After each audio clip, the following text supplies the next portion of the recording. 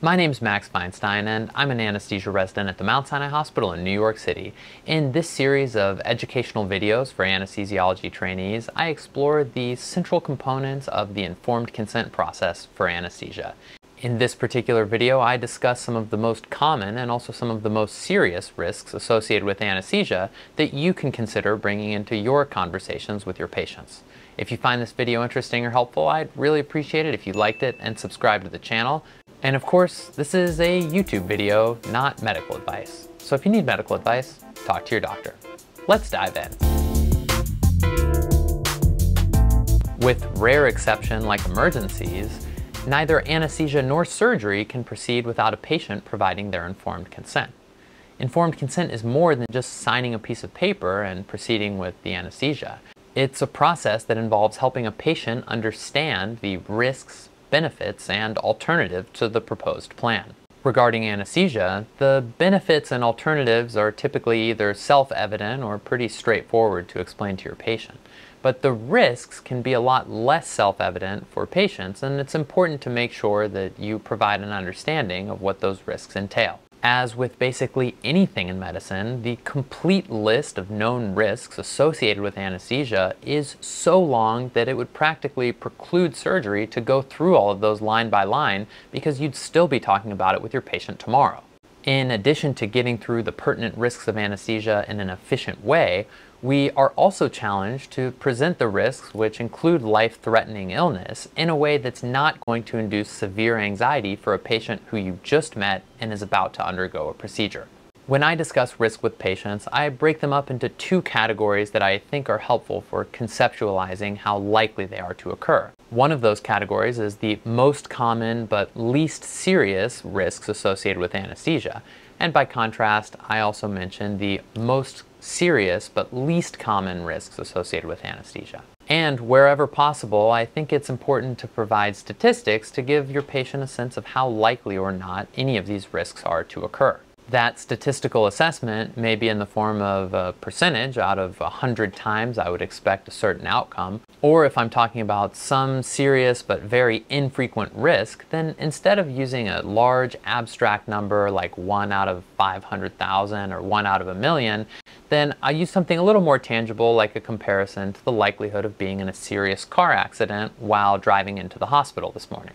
While the specific risks associated with your anesthetic plan are going to vary based on exactly what you're planning to do and what the patient's comorbidities are, there are some common risks that are generally applicable for most different types of anesthetics postoperative nausea and vomiting is a risk that comes not only from anesthesia, but also from surgical interventions. And it's important that you have reviewed what those risk factors are so that you can let patients know whether they're at a higher or relatively lower likelihood of experiencing PONV. When describing risks like PONV, you might also let patients know what you plan to do to either prophylax against those risks or how you might treat that if PONV were to occur. Another relatively common risk associated with anesthesia is corneal abrasion, which, when it does happen, typically self-resolves, but it's important to let patients know when they should follow up with an ophthalmologist.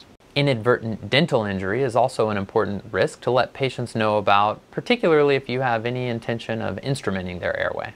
It's estimated that one out of every 4,500 anesthetics involves dental injury that requires subsequent intervention. It's also important to let patients know if they can expect to have a sore throat for a day or two, particularly if you plan to use an endotracheal tube or a laryngeal mask airway. Don't underestimate how uncomfortable this throat soreness can be, particularly if it was a prolonged intubation or required two or three attempts when explaining the most serious risks associated with anesthesia, it's really important to communicate to patients that you don't expect these things to happen, but because they are serious, it's important that your patients are aware that they're at least a remote possibility. Among the most serious risks, you may consider letting your patients know that awareness is extremely infrequent, but occasionally does happen, and that you'll be right there monitoring them the entire time to prevent this from happening. And although death related to anesthesia is an extremely uncommon occurrence, this is something that you may want to disclose to your patients. One analogy that I've heard from my colleagues is comparing undergoing anesthesia to flying on a commercial airplane, where we know that generally speaking, they're very safe experiences,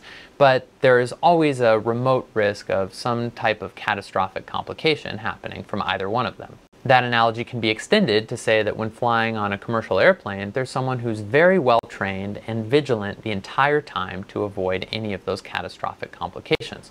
By the same token, there is someone who's very well trained, namely the anesthesiologist, who is there and vigilant the entire time to make sure that risks are avoided. If your anesthesia plan includes endotracheal intubation, you may also consider disclosing the risk of vocal cord injury, which is rare but of course can be a devastating complication.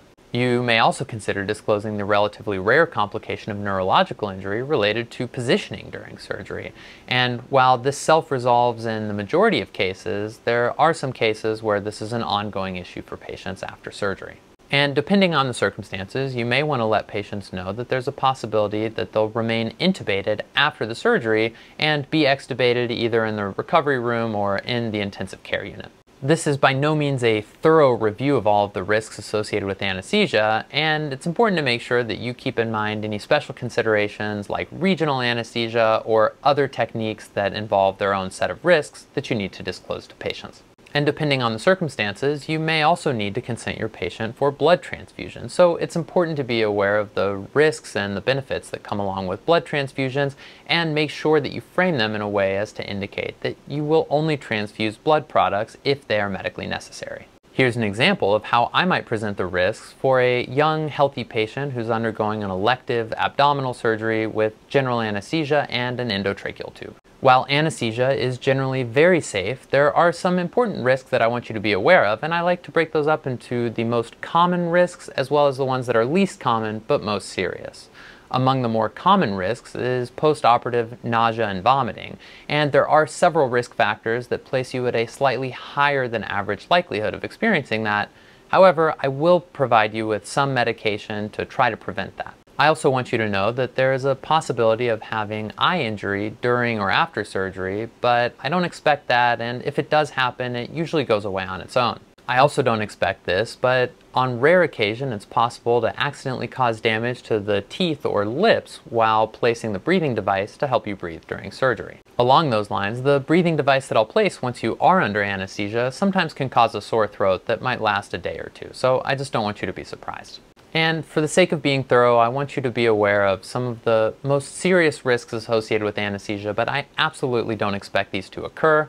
One of those is awareness, but we have many different ways of making sure that patients are under anesthesia and not aware of anything during surgery. And another very rare risk that's associated with anesthesia is vocal cord damage that can result from the breathing device that we place to keep you safe during surgery, but again, this is something that I don't expect. If you found this video helpful, you may also want to check out this video where I go through how to discuss depth of anesthesia with your patients. Thanks very much for watching. I'll see you next time.